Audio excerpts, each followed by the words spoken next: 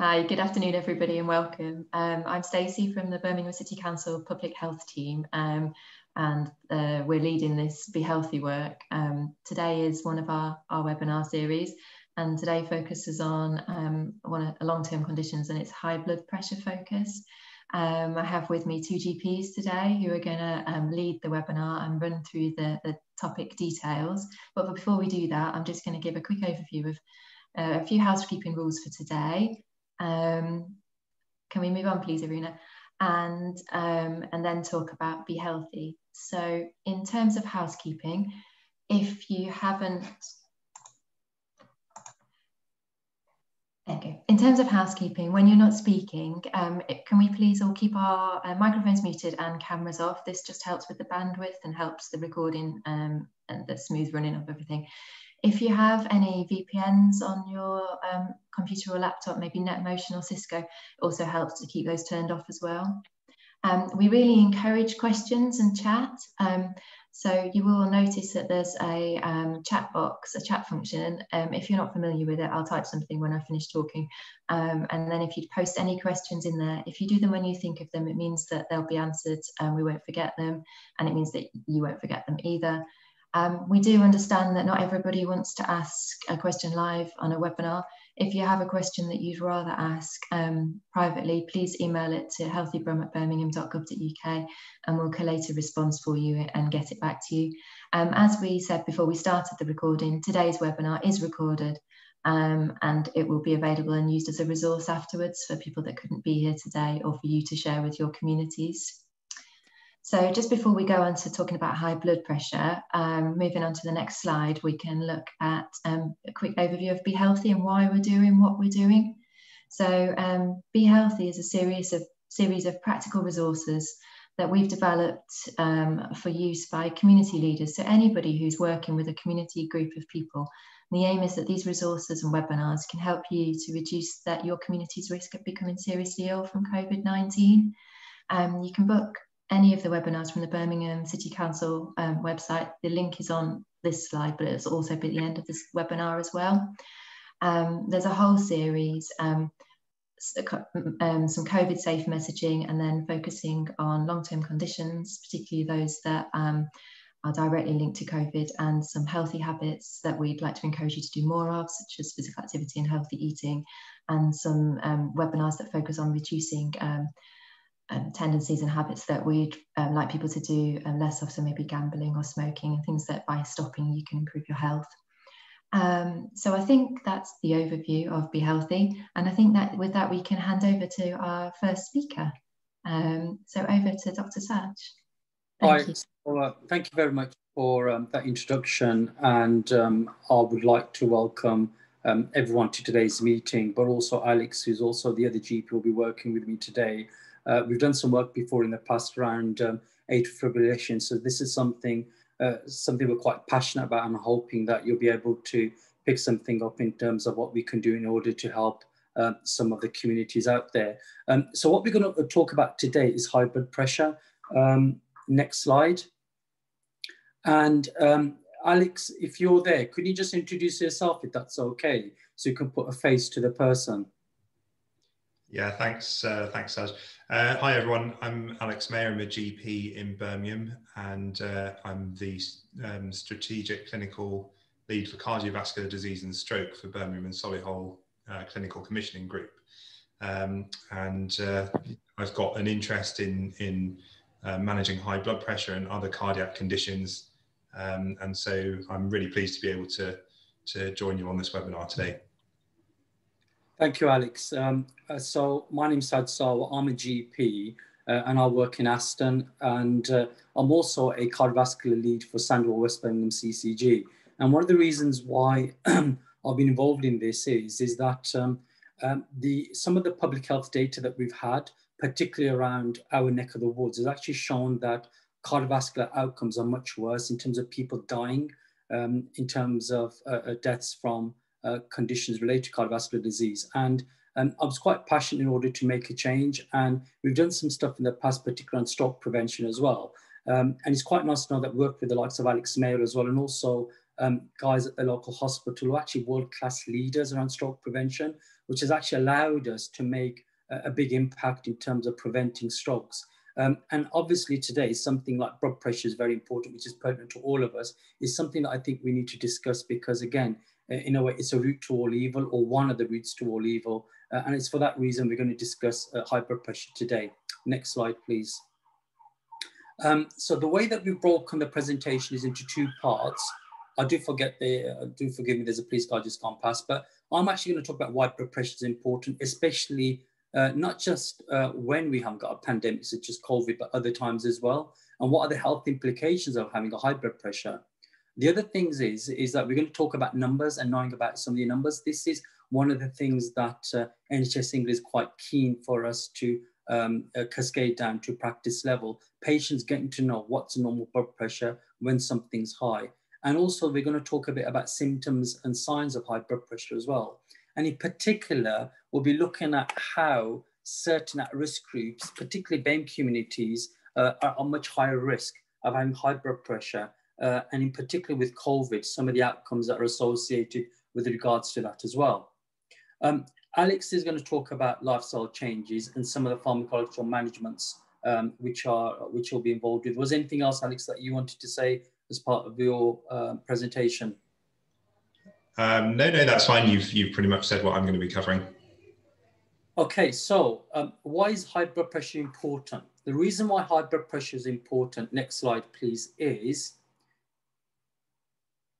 because it's a silent killer. And the reason for that is it's a very dangerous condition um, where the blood pressure is persistently higher than normal. And if we left it untreated, people with hypertension or high blood pressure are more likely to have risk from having a heart attack, a stroke, or a kidney failure. And the reason why this is important is because of this. When you're looking at high blood pressure, we are looking at a condition that a patient may be completely asymptomatic. So they may have a slightly high res blood pressure, but they may not be aware of it. And often it's when it's too late that they present either to the GP or to the hospital, whereby they've had some fatal outcome as a result of having the high blood pressure. And this is the reason why it's a silent killer and we need to be more proactive in trying to identify patients with high blood pressure. And the reason for this next slide is, is because of this. One of the things that we're looking at when we're looking at high blood pressure and we're looking at heart disease in general is that we can have issues with blocking of your normal arteries. And if you have a look at this diagram on the left-hand side, you'll see that there's a normal artery there, which has a very good um, uh, lumen, which allows blood to flow. And this is easily represented in different parts of the body, in your heart, in your brain, in your kidneys. And then with progression, you can develop fatty streaks. And there's been evidence now that's actually uh, suggested that even children or babies actually can have development of fatty streaks. But the important thing is this, if someone has high blood pressure, sometimes what can happen is you can get a damage to the lining of that eh, of the wall of the inside, which allows a fibrous plaque to form. And when you get that, that's when you get narrowing of the, uh, uh, of the artery or the blood vessel, which then causes you to develop a stenosis or a narrowing, which has an impact in terms of your heart, which is why you get angina or chest pain, or you get poor circulation to your legs, which is why you get something called intermittent claudication. But the other aspect that's also related to this, and this is where cholesterol is quite important, is, is that you can get the plaque forming and a clot forming. And when you have that clot formed, it can again cause narrowing the airway of the, um, the blood vessels, but it can also cause some of the clot to be disrupted and to be thrown up to different parts of the body. And this is why this results in patients having MIs, which are heart attacks, or a stroke. The new term for this, or the more appropriate term for this, is a brain attack or cardiovascular death, or when you may end up losing your limb because the circulation has been impaired. So you can understand that high blood pressure is one of several different conditions whereby it contributes to atherosclerosis. And by having high blood pressure, what essentially does is, is accelerates the process. So it means that patients who have this condition are more likely to have problems in terms of having a heart attack or a brain attack or even death with regards to the above. Next slide, please. So if we just put it into the main organs that we're talking about in terms of high blood pressure, the main organs that can be affected can include the heart. So you can get a damage to a certain supply of the heart, which isn't getting enough blood supply, which means as a result of that, the heart will end up having ischemia, where the blood supply is uh, deprived. But if there's damage to the blood supply, where the there's damage, sorry, to the heart, then what they'll end up having is a myocardial infarction or a heart attack. You can also get something happening in renal failure, and this is particularly relevant for people who have blood pressure over a longer period of time. And what it essentially means is, is that small blood vessels of the kidneys become damaged over a period of time, and that in itself can cause problems because what it means is the kidneys aren't working as well as they should. And sometimes when I speak to my patients, I use analogy of a catalyst. So, you know, if you have a car, you have a catalyst in the exhaust that traps all the bad fumes. And if you have high blood pressure, what actually happens is you damage the catalyst of your kidneys, which means it can't work as well as it should. If you're looking at cerebrovascular accidents, what they're talking about this is, I know it's a lot of terms, but when you have disruption or damage to the supply of the brain, if you have smaller vessel damage over a period of time, that's one of the conditions such as dementia that is becoming more and more manifest. But also if you have a larger amount of blood vessel, which is affected with a larger distribution, you can end up getting either a mini stroke or where you have a end result of having a fatal stroke, a stroke whereby you're left with a disability. And again, you can also get larger blood vessels affected, such as the aorta, which is the main blood vessel leaving your heart, where you have an aneurysm. And that in itself is determined by high blood pressure and can cause problems as well. Next slide, please. So one of the things I've talked about is knowing your numbers. And this is something that came across, uh, I came across several years ago. And it's quite interesting because one of the things I mentioned earlier on in the slides is, is with high blood pressure, a lot of the time we won't know about it because it's silent. We don't have any problems with it. And it's only if we develop complication with it that we then are then um, uh, then we decide that we need to seek advice from a doctor or go to the hospital. And the reason for that is a third of the population has high blood pressure, but they don't know it. A third of the population who have hypertension or high blood pressure are not taking any treatment at all. And the, a third of the population who are taking treatment are not taking treatment enough to control the blood pressure reading. Next slide, please. So one of the things that's come out recently uh, over the last year or so is one of the ways that we actually look at high blood pressure. And if you press the slide one more time, please, these are the different stages of blood pressure, okay? And what we've tried to do, or what uh, um, researchers try to identify is, is trying to address those people that we need to make an intervention. So if you look at the top reading, which is 135 over 85, now sometimes people get confused about the readings and it's and COVID has been quite good uh, for patients and for us because what it allowed us to do is give an element of empowerment. So one of the things that a lot of my patients started doing is getting blood pressure machines at home and they give me readings. And often they get the readings confused between the pulse and the top blood pressure being the bottom reading. But essentially the top reading of your blood pressure is when your heart is contracting or squeezing to form blood out of your heart to go to the rest of the body. And so the blood pressure ideally should be below 135. Now, when your heart is relaxed, there's still a certain element of blood that's going out, and that's the bottom blood pressure, which is 85. Out of the two blood pressure readings, the top one is much more important. When we look at stage one hypertension, you see the reading of the top one should be between 135 to 149, and the bottom one should be between 85 to 94.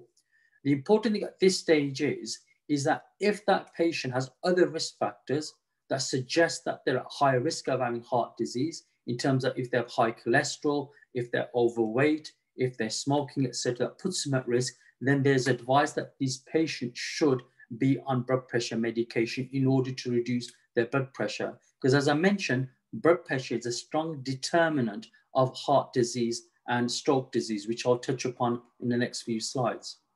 If your blood pressure is greater than 150 over 91, 95, then it suggests that again, they should be on treatment irrespective. And obviously with a blood pressure of 180 or 120, this is where you need or you may require urgent hospital involvement because at this stage you need input because there's a risk that you could have some severe damage. Next slide, please. So the interesting thing about high blood pressure is in 95% of cases of high blood pressure, we don't know what the cause is. And it's only about 5% that it happens whereby you're getting as a result of other conditions, such as because of your kidneys, because of hormone problems, because of medications that you might be taking. So as I touched upon earlier, next slide, in terms of signs and symptoms of blood pressure, one of the most important contribution to cardiovascular disease is high blood pressure. We touched upon earlier on about other conditions such as high cholesterol and atrial fibrillation as well. But one of the things that we're talking about is why high blood pressure is important because it's a root of the evils with cardiovascular disease. And when we talk about cardiovascular disease, it's a general term that we look at for conditions affecting your heart or the blood vessels around the body. So this can include your heart, circulatory diseases, including the heart, heart attacks, congenital heart disease, high blood pressure, stroke, and even dementia as well. So when, when you have high blood pressure, as well as cholesterol or atrial fibrillation, these are known as a high risk conditions, ABC, and it's something that's been actually recognized at a strategy level that we need to cascade down to practice level, but also community level to make patients aware that these are the things that we need to look for. And today's webinar, obviously, as you know, is about high blood pressure, and this is why we're focusing on this condition today.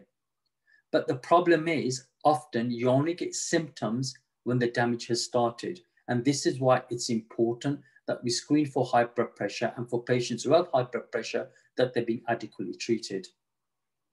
So next slide.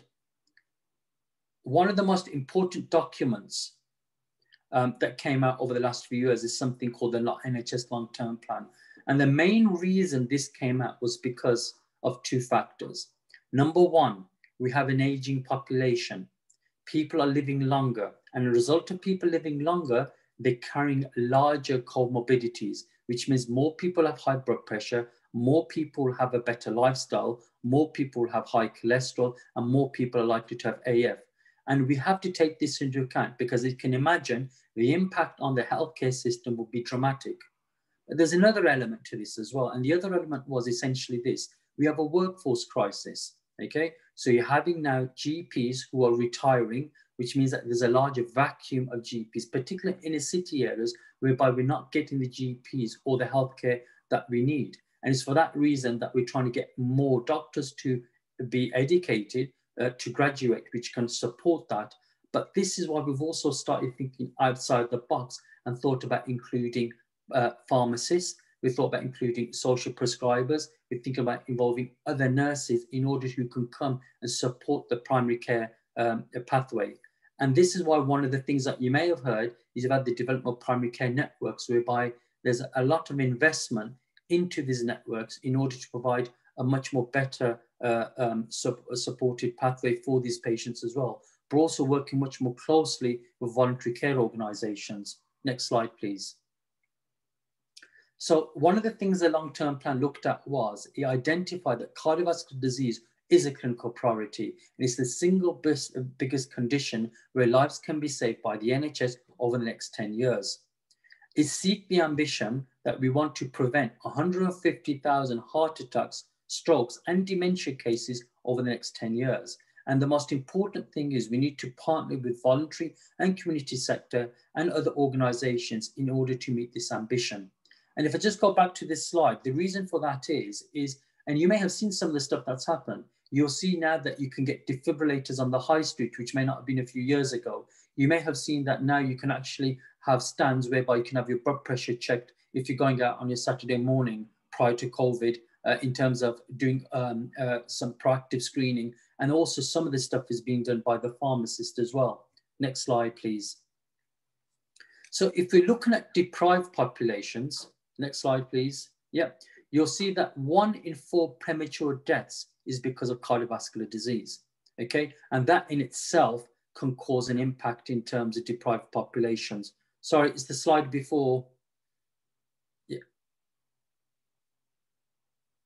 Slide before, that's it. Um, and we know that cardiovascular disease can affect about 7 million people. And this is a really interesting uh, statistic. Sorry, next slide. As in slide after.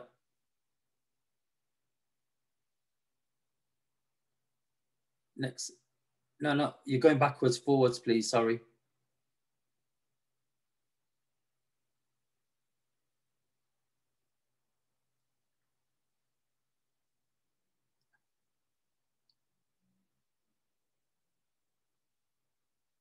We just got the long, that's uh, slide after this. Yeah. So the middle statistic is very, very important. And this is very, very important if you look at what this slide says.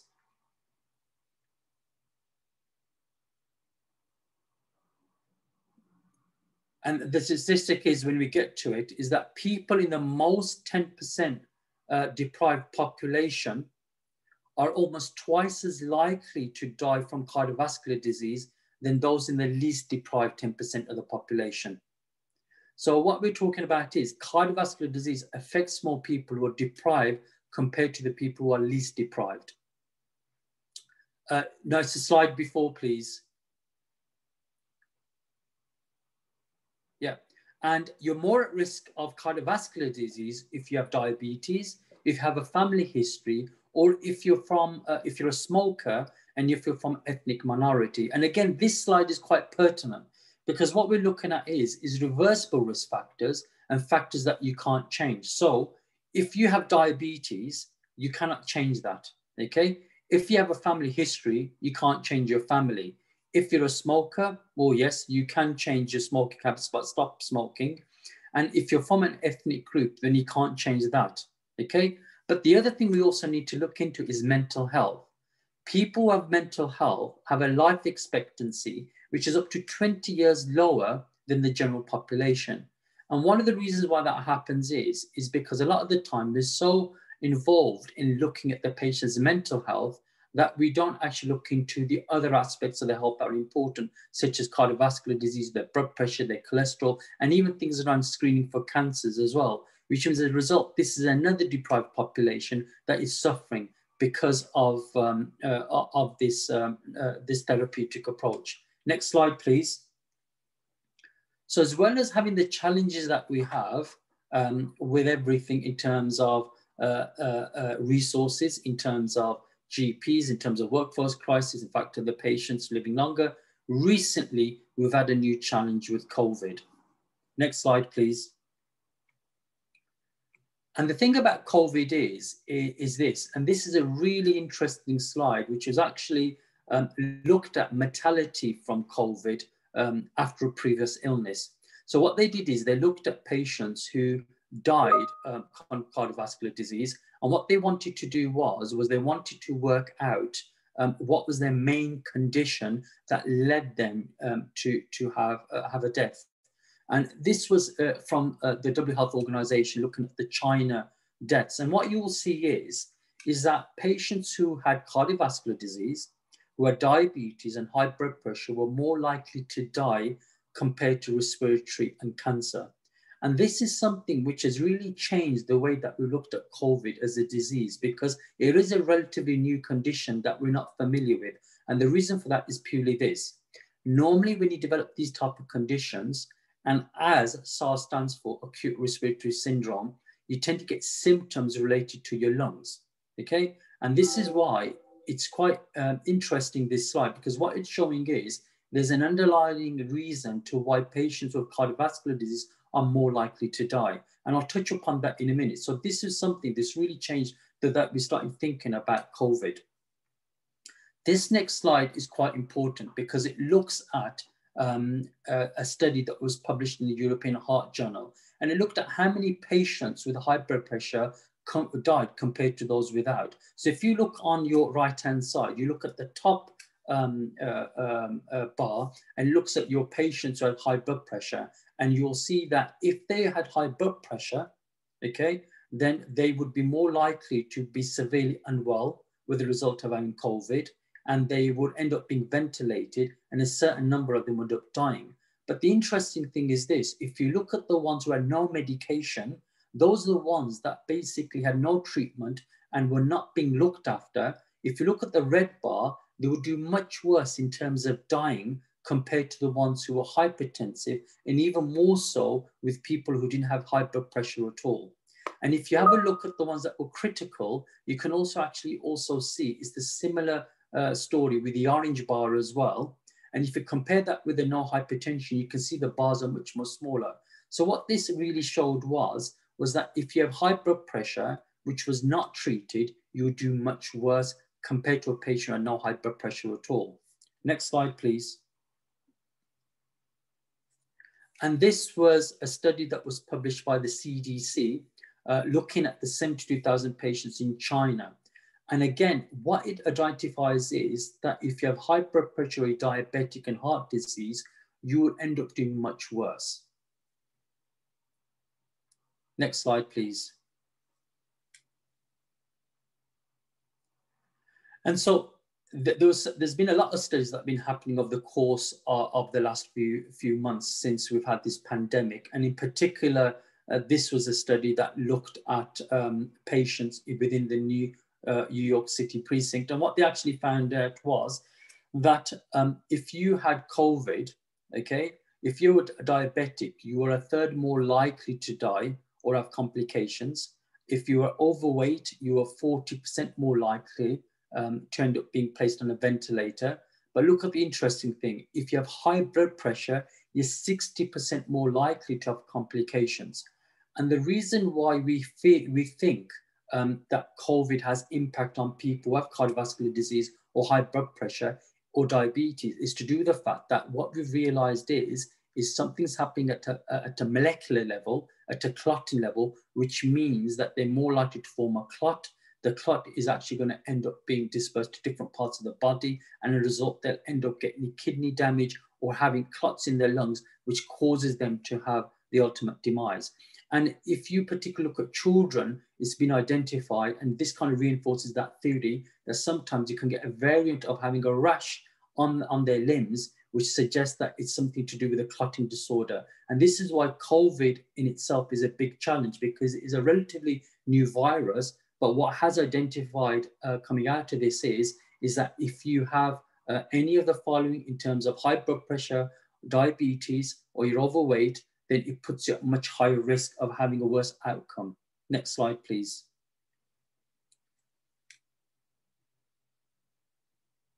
So why is it that BAME groups are much higher risk? And um, if you look at determinants of health, there's a variety of reasons why a certain individual or a family of individuals uh, may have a better health outcome compared to others. And this might be to do with the fact in terms of their age, in terms of their sex, in terms of hereditary, it may be to do with genetics.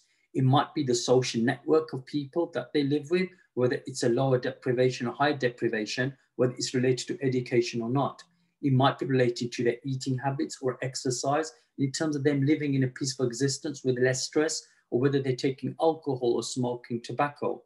On top of that, there's other aspects in terms of aspects around um, uh, the quality of the food that they're having, whether they got the financial stability, how well educated they are, even in terms of them commuting, whether they're actually using a bus or a car to commute with, or whether they're actually working, sorry, walking or cycling to work. And obviously, there's also another determinant of health in terms of a higher level of what's happening economically. So the point is, is that for any set group of patients, the determinants of health are not based on one aspect, but actually due to a very um, large, complex, um, con uh, uh confusing even and we've been able to identify some consistencies and why some groups are, are, have worse outcome than others. But it's quite a complicated topic.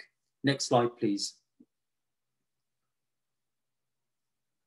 So what the next slide looks at is, and this is very complicated, but try to bear with me, okay?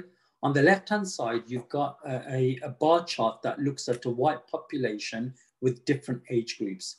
And what you'll see is, is that each bar represents a different condition in terms of how patients suffer um, from that particular condition for that simple, for that age. Um, and that compares it with a middle bar, which are for South Asian communities. So we are looking at India, Pakistan, Bangladesh, and then on the far right with a black population. And what you will see is, is that for the South Asian population in the middle, the bar charts are a lot higher than the ones compared to the black population, which is a lot higher than the ones compared to the white population. And what that's suggesting to us is, is patients who are from a South Asian community will do much worse if they have cardiovascular disease in terms of them having a problem with a mortality from a heart attack or a stroke, in terms of them uh, suffering from situations such as heart failure, in terms of them having other causes, uh, deaths caused from a cardiovascular disease. And you can see that South Asian populations tend to be much worse than the black population, who then tend to be slightly better than the white population. Next slide, please. So this slide um, looks at why BAME um, populations did much worse um, compared to uh, a white population, particularly when they picked up COVID. So we know that generally, if you have cardiovascular disease, you'll do much worse. We know that high blood pressure is a strong contributor to, high, uh, to cardiovascular disease as well.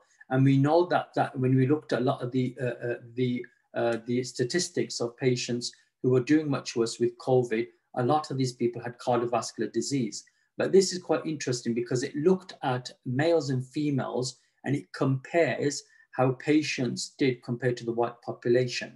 And if you look at the top part, which looks at males, you will see that for if you're black or Bangladeshi or Pakistani, your risk of dying from COVID is up to two times more likely compared to the white population.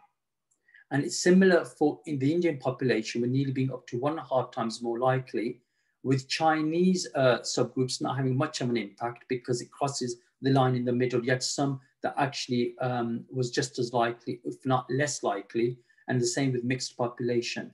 And you can see in the slide before for the females, the pattern is pretty much consistent across both sexes. So essentially what this slide is trying to show is, is that if you are from a BAME ethnic group, compared to the white population, you're up to two times more likely to die from the complications of COVID compared to the white population counterpart.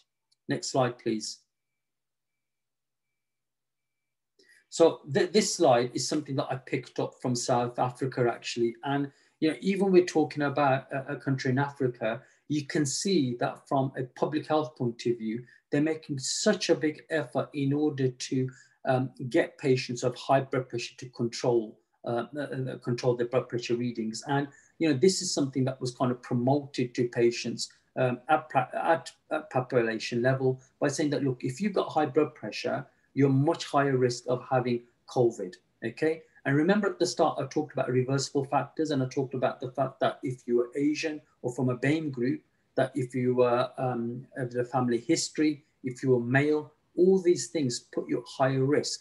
But unfortunately, these factors are irreversible. But if you're a smoker and you have high blood pressure, potentially you can reduce your risk by stopping smoking and controlling your blood pressure a lot better. So the, the theme of this um, presentation was, was to say, look, if you have got high blood pressure, this is how you can protect yourself.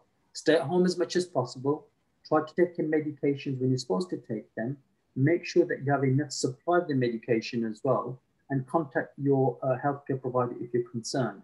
So it's quite enlightening, really, that uh, in Africa they've actually started to push this um, disease area, particularly in light of what we've discussed uh, with COVID. Next slide, please. I think, Alex, the floor's over to you now. Okay, thank you very much, Saj. Um, so really interesting to hear about uh, the impact of ethnicity and um, blood pressure and other uh, other conditions on um, on COVID outcomes. I'm going to talk um, a little bit more about the management of high blood pressure. Uh, so I'm going to focus first of all on um, lifestyle factors, uh, and then I'm going to talk a bit about medication to treat high blood pressure. In terms of lifestyle factors, um, so what I'm going to talk about isn't just important for people who've got high blood pressure um, it's it's good advice for, for anyone really. Um, so it helps to lower the blood pressure, but it also helps people who don't have high blood pressure to stay healthy.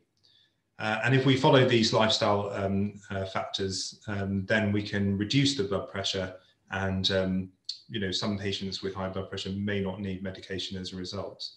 The aim of uh, treating high blood pressure is um, to reduce the pressure that the heart has to pump under uh, and that then takes pressure off the, the circulation and the vital organs.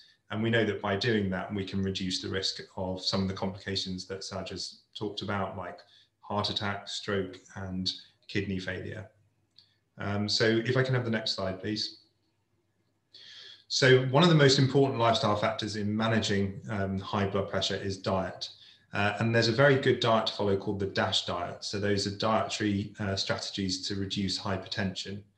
And as you can see from the picture, the DASH diet is generally um, uh, high in um, fruit and vegetables, most important, Uh, it's low in saturated fats and cholesterol, uh, and it's higher in not in low fat dairy products like yogurt and skim skim milk. And there's very little uh, saturated fat that you would get from animal fats, from chocolates and sweets and things like that. Um, and so diet's very important. The other the other thing is um, salt. So people with high blood pressure should limit their salt intake to about six grams or just under a teaspoon a day. And the reason for that is because when we eat salt, the salt draws water in with it. And the more salt and water there is in, in your circulation, the harder the heart has to pump in order to get the blood around the circulation. So it does drive the blood pressure up. And so lowering the salt in your diet can help to lower your blood pressure. Next slide, please. Exercise. So the, in, in, the UK, it's recommended that adults should do 150 minutes per week of moderate intensity activity. And that doesn't have to be organized sports. Um, it can be simple things like getting off the, the, uh, the, bus one stop early or taking the stairs rather than using a, a, a lift. Um, but anything you can do to, to sort of be more active and spend an 150 minutes a week or two and a half hours doing moderate intensity activity. And that's the sort of activity that should leave you feeling slightly out of breath, um, but not very out of breath. Next slide, please. Alcohol is an important factor in managing high blood pressure. So it's recommended that women should have no more than one alcoholic drink per day, and men should have no more than two alcoholic drinks per day. So that's um, seven units per week for, for women, 14 units per week for men. Uh, and you can see on the um, on the slide what constitutes one alcoholic drink or one unit of alcohol. It's also recommended that um, people should have three alcohol-free days per week. Um, and alcohol not only uh, raises the blood pressure, but it's also high in sugars uh, and it um, provides extra calories, so it um, contributes to weight gain. Next slide, please. Weight loss is another important lifestyle factor. We know that losing as little as 10 pounds or four and a half kilograms can help to lower uh, your blood pressure. And it's one of the lifestyle factors that your doctor or nurse would talk to you about if, um, if you are diagnosed with high blood pressure. Um, the other thing is that um, the distribution of excess weight seems to be important in, in risk of cardiovascular disease. So people who carry more fat around their tummy uh, so-called apple shape um, are more likely to have cardiovascular disease than people who carry more fat around their hips and thighs. Uh, so waist circumference is also an important marker. Uh, and people should know their waist circumference, so that's, um, that's their waist size. Uh, for men, it should be less than 40 inches, and for women, it should be less than 35 inches. And uh, waist circumference above those levels seems to increase the risk of cardiovascular disease. You should also know your body mass index. So the body mass index is a calculation that's used by healthcare professionals to tell if someone is underweight, um, healthy weight, overweight or obese. Uh, and that's calculated by dividing the weight in kilograms um, by the height um, in meters multiplied by itself. Um, and essentially a healthy weight is between 20 and uh, 25 kilograms per meter squared uh, and a weight above 25 can increase blood pressure and increase the risk of cardiovascular disease. Uh, next slide, please. Caffeine is important in driving blood pressure. Um, so the more caffeine you drink, the, the harder the, your heart has to pump to get the, the blood around your circulation. And so it's recommended to limit caffeine intake um, to under four cups a day. And don't forget, caffeine is also in tea and many fizzy drinks um, like cola.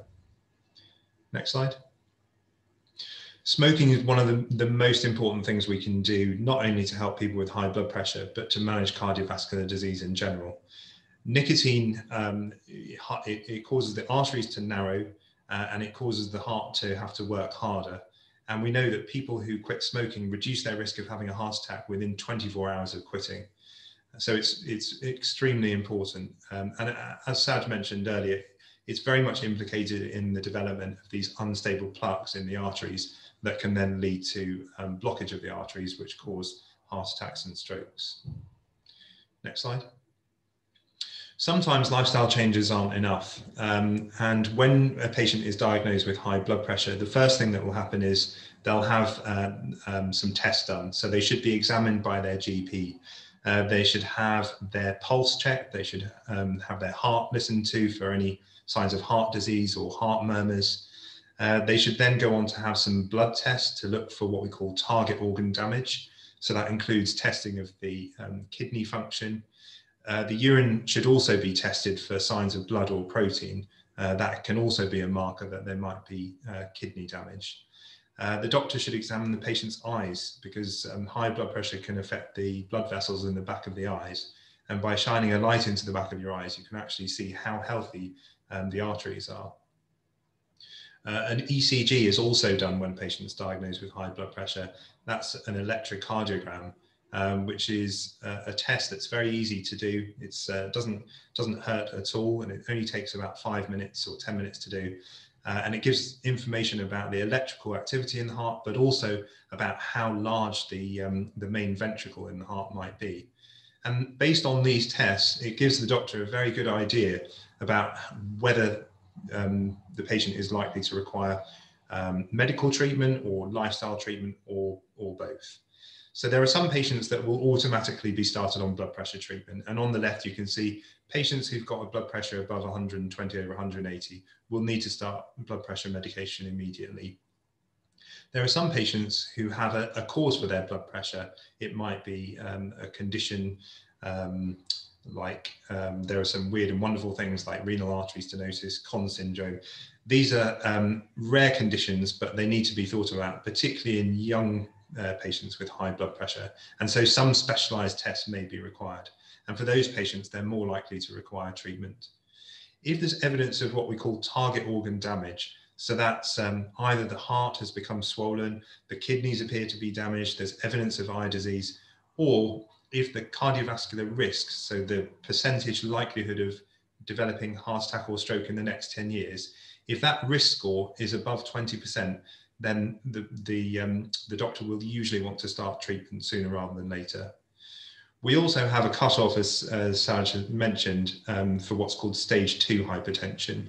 So if the, if, if the blood pressure is consistently or on average above 150 over 95, then the chances are you're going to need to, to go on blood pressure medication.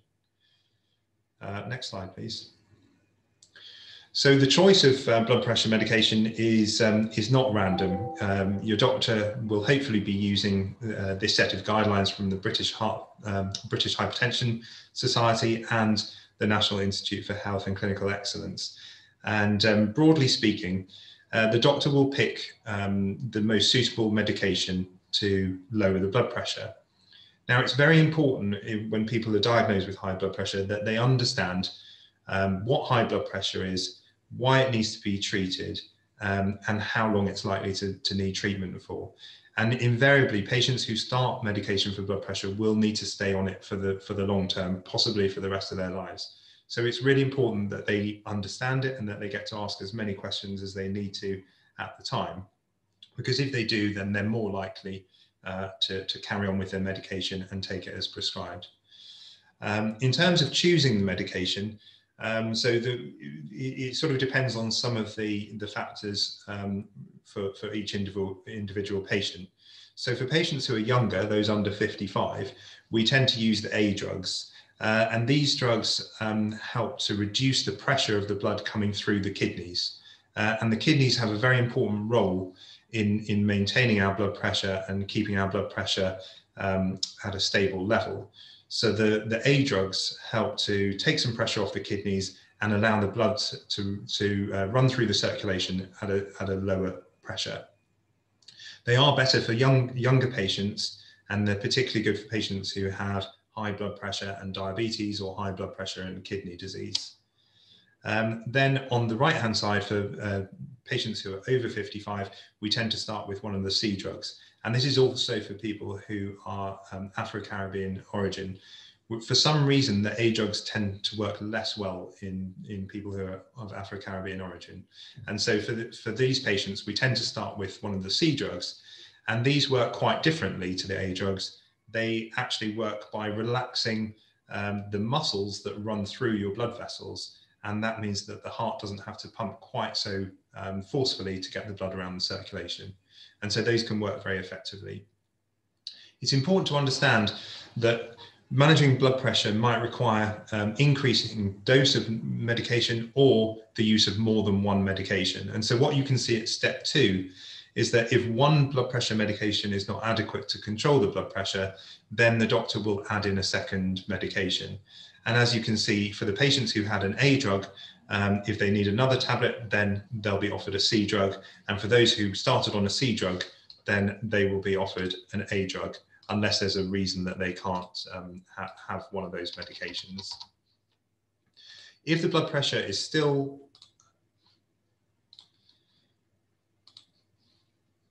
Sorry, I've lost my screen.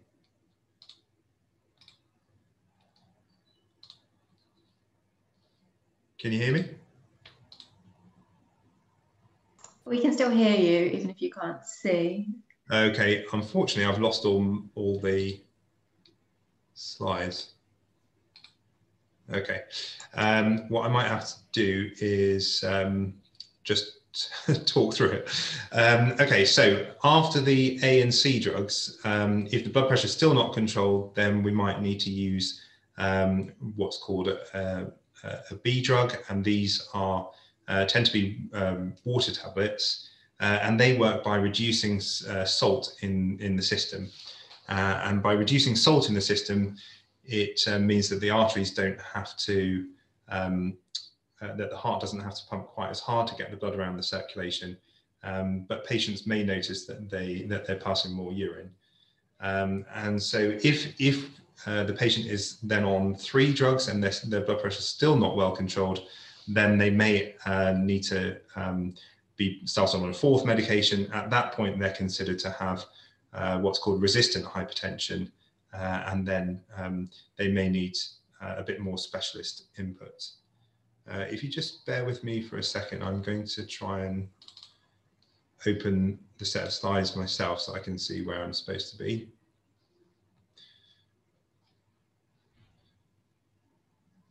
Sorry about this. Okay, so just moving on to uh, the next slide it's really important that people understand how to take their how to take their medication. As I said, starting um, medication for blood pressure is is usually um, for the long term, uh, and so it's really important to involve um, family or carers in decision making, um, and ask as many questions as you need to if you're a healthcare professional. The medication should usually be taken at the same time each day Sometimes it will be a once daily medication. Sometimes it will be need to be taken twice or three times a day. Try not to miss any doses because even missing a single dose can cause the blood pressure to go up. It's also important to read the leaflet before uh, starting the medication so that you have a good understanding of how the medication works and what potential side effects to look out for. For example, for some blood pressure medication, um, if you're feeling unwell or you develop diarrhea or vomiting, the medication should actually be stopped until you're feeling better. And if you don't know to do that, then you might carry on taking the medication and that can cause you to become more unwell. If you're not sure about how to take your medication or you've got further questions, um, you can uh, consult your, your pharmacist or your GP. All the lifestyle changes that have been advised before starting medication should continue. And it's really important not to stop doing those things because of starting medication. Even those patients who do require medication to, to manage their blood pressure will certainly do better if they um, are very careful about managing the lifestyle factors as well. It's a good idea to keep a list of the medication that you're taking and the doses. Uh, and you could even consider taking a picture of the, the uh, medication boxes on your phone uh, or just having a list on your phone so that if you need to speak to another healthcare professional who doesn't have access to your medical records, they can see what medication you're taking. Sometimes taking over the counter medication doesn't mix very well with blood pressure tablets. So it's worth mentioning before um, you take anything that's not prescribed, uh, what medication you're taking. A good example of that is ibuprofen, which um, can actually uh, raise your blood pressure. Attending for checkups is extremely important. The reason your doctor will call you for an annual checkup is because the blood tests and other checks that are done uh, are there to look for any complications um, of high blood pressure and to make sure that the medication is still suiting you and that you're not getting any um, problems with kidneys, um, cholesterol, diabetes, anything like that. So um, it, it is really important to attend those for those checks. And what's also really helpful is um, to have your own blood pressure machine uh, and to keep an eye on your blood pressure at home and bring the readings written down with you to your to your checkups. Uh, we know that clinic blood pressure readings, so when your doctor takes your blood pressure or the nurse in, in your in your surgery or at the hospital takes your blood pressure, it's bound to be higher than it is when you're at home. And it's actually much better for us to make decisions about managing blood pressure based on the home readings than on the clinic or hospital readings. Because if your blood pressure is high because you're feeling anxious or stressed, then that's not representative of, um, of what your blood pressure normally is. So you can help your, your doctor or, or nurse by bringing the blood pressure readings to you, to, to your appointments. Um, okay, next slide, please. Oh no, I've, right. So uh, in terms of take home messages, um, as Saj said, um, blood hypertension is known as the silent killer because many people um, up to a third of the population don't know that they've got blood pressure, high blood pressure. It may have no symptoms, and unless you get it checked, uh, then you may not know that you've got it. It's an important risk factor for heart disease, strokes, and other serious conditions, as we've discussed, and so it must be taken seriously. It's very treatable, though. Um, so you, you, know, if you are if you are if you are um, diagnosed with high blood pressure, then do take it seriously. Take the advice of a healthcare professional and see what you can do to help lower your blood pressure. We know that patients who've got high blood pressure who get COVID-19 are more likely to have a, a, a, more severe infection and even more so if they're not taking their medication. So um, even more uh, reason to, to, to take the medication as prescribed. It's a very treatable condition. We can start with lifestyle factors and move on to medication if necessary. But even if patients are prescribed medication for their blood pressure, um, being serious about these lifestyle modifications will certainly help. And last of all, if you are diagnosed with high blood pressure, again, make sure that you take it seriously. You understand that it's um, blood pressures for high blood pressures for life, and that you involve your family and speak to a healthcare professional. Um, so on the next slide, um, we've just put in a couple of resources if people um, want to have a look. Um, the British Hypertension Society has lots of good information about high blood pressure and how to manage it. And they can also advise on uh, getting a, a, a, blood pressure machine to take your blood pressure at home. And these machines don't, don't cost very much money. Um, the NHS UK website is um, really good as a resource for um, finding out more about all sorts of conditions, including high blood pressure. Um, it's easy to read and um, it, it, it's very nicely laid out. If you're interested in the DASH diet, then um, we've put the link there. And um, the NICE guidelines for hypertension, uh, there is information for the public, um, so it's not all aimed at, at, at, healthcare professionals, but it's quite nice to have a look at that and see uh, what you can do to, to manage your, your blood pressure. Uh, so Saj and I would like to thank you very much for um, joining us on this webinar and uh, we'll, we'll hand you back to the organisers. Thank you. Thank you. Thank you both. Um, that was a really interesting and um, really good overview of blood pressure and why it's really important to, to be aware of your blood pressure, I think, taking your medication properly if you need to. But importantly as well, looking after your um, lifestyle factors, so activity, healthy eating, um, smoking. And um, for those of you that are aware of the webinar series, um, we have specific webinars on all of those topics in the weeks to come. So if you want to find out more about what you should be doing, what you can't be doing, what's available locally, what's there to help you, um, then yeah, please have a look at those too. And that information coupled with this really stands you in a good place to help the communities you're working with. Um, so I'm just looking at the, the chat box. Um, I think we're getting lots of thanks coming in, really interesting conversations and very informative. Haven't spotted any actual questions. Um, Marina, do you want to slide the slides onto the question slide? Um, there's some more resources there as well. Um, but yeah, if anybody's got any thoughts on how they, they might just Stacey. Yeah. I'm going to tell you about a case that actually happened this morning. So this is a gentleman who's actually um, uh, rang me up this morning and he said to me, Doctor, I've got really, really high blood pressure uh, to the extent he actually ended up calling NHS 111. Um, and uh, the, the paramedics checked his blood pressure, and yes, it was slightly high. Um, and they said, okay, well, you know, you need to contact your GP. Now, what actually ended up happening with this gentleman is he's been hypertensive for a number of years now, has been taking his medication, but actually, after a while, he stopped taking his tablets because he said, well, look, doctor, I was taking the medication, but my blood pressure got better, so I stopped taking them. but What he failed to recognize was it was the tablets that was helping him control the medication. And I think this is what often happens sometimes with patients that compliance is a big issue. And to an extent, all tablets will have a side effect, some more than others. Um, but the important thing is, is that the jobs that Alex and I do with our patients isn't about us just writing a prescription and just saying, look, this is how you need to take the tablet. It's about trying to understand some of the issues about why the blood pressure might be high with other things as well. And I think one of the things we're trying to push upon is self empowerment. So you can imagine with everything happening with COVID, a fair number of my patients went out and did their blood pressure. I've got a blood pressure machine. So this patient had really high blood pressure, and I spoke to him today and said, "Well, have you checked your blood pressure again?" And he said, "No, because uh, I've run out of batteries." So I said, "Why don't you do this? Why don't you go and get your batteries then and check your blood pressure again?" So he came back, checked his blood pressure, it's absolutely normal. So the thing with blood pressure is, is Alex and I have tried to do a snapshot of what why it's important. And actually it's one of those reversible factors if you've got the right treatment. Um, and we've talked about why it's important, particularly with this pandemic, because it's associated with worse outcomes, more so in BAME uh, communities as well. But certainly there has to be an empowerment at patient level.